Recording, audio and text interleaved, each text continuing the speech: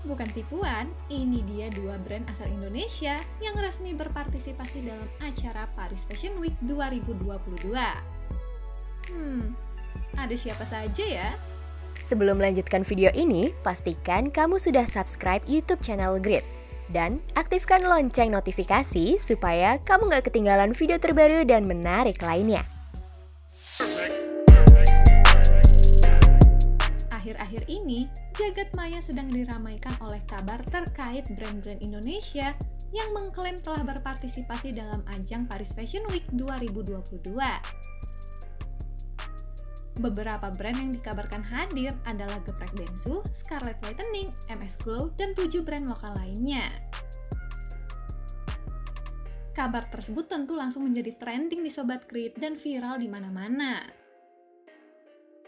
Tak sedikit netizen mengatakan bahwa klaim brand-brand tersebut merupakan pembohongan publik yang seharusnya diluruskan informasinya. Menanggapi komentar netizen tersebut, Gerakan Ekonomi Kreatif Nasional atau GEKRAF segera memberikan klarifikasi nih Sobat Grid. Menurut GEKRAF, ajang fashion show yang dihadiri oleh 10 brand lokal tersebut merupakan acara terpisah dengan nama Gecraft Paris Fashion Show yang diadakan bertepatan dengan Paris Fashion Week yang tengah berlangsung saat ini. Eits, tapi ternyata nih Sobat Grid, di tengah polemik-polemik yang tengah ramai dibicarakan, ternyata ada dua brand lokal tanah air yang benar-benar diundang langsung oleh Paris Fashion Week loh. Walau minim pemberitaan, dua brand lokal ini berhasil masuk dalam jajaran brand-brand dunia dan berhasil meraih popularitas di pasar internasional. Uh, menarik banget gak sih Sobat Grid? Nah, pasti Sobat Grid udah penasaran kan? Apa aja sih dua brand lokal tersebut? Tunggu apa lagi? Yuk, check this out! Yang pertama ada brand lokal dengan nama Jewel Rocks. Brand lokal yang satu ini merupakan brand perhiasan yang didirikan sejak tahun 2006.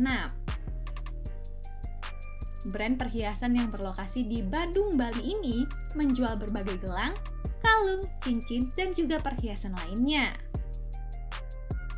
Bukan dibuat menggunakan batu-batu mulia, perhiasan-perhiasan Jewel Rocks awalnya ternyata dibuat menggunakan manik serta payet-payet biasa yang mungkin sering sobat grid temui loh. Dan menariknya di Sobat Grid, manik dan juga payet-payet biasa tersebut bisa berubah menjadi sebuah perhiasan unik karena kreativitas yang dimiliki oleh para pembuatnya.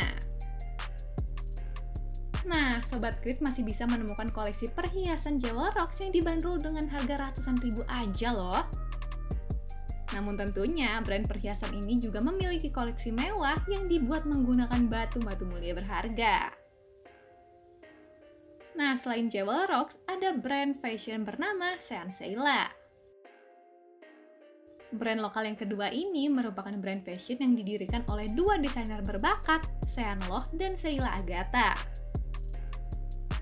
Didirikan sejak tahun 2014, Sean Seila merupakan brand fashion luxury untuk pria dan juga wanita nih Sobat Grid. Dalam setiap desain pakaiannya, brand ini mencoba untuk menggabungkan budaya tradisional timur dengan siluet barat yang modern. Nah, ciri khas dari pakaian Sensela adalah bordiran khas yang menambah keunikan serta kemewahan dari tiap karyanya.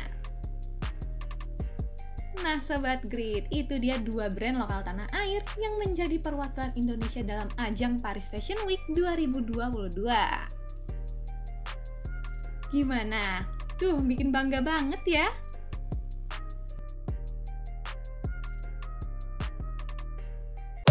Terima kasih sudah menonton video ini. Jangan lupa subscribe dan aktifkan lonceng notifikasi supaya kamu nggak ketinggalan video terbaru dari Grid.